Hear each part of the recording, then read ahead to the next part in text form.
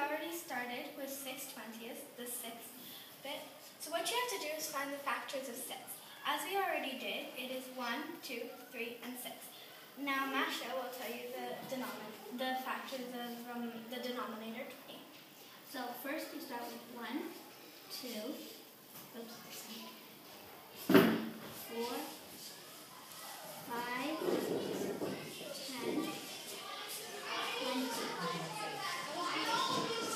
Now that you've found, you've had you've found out what the factors of each one is, now you need to find the greatest common factor. So you have to look at both. So they both have one, but we can't use one because it just it would just equal itself. So two. Two is the same, which makes it the greatest common factor. So now you need to circle both the two. You don't have to, but.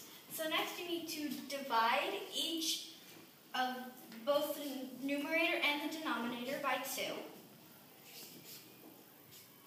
That e- so so now 6 divided by 2 equals 3. So 3 is your numerator. Then you need to draw the line. 20 divided by 2 is 10. So here you go. 3 tenths is your simplified fraction.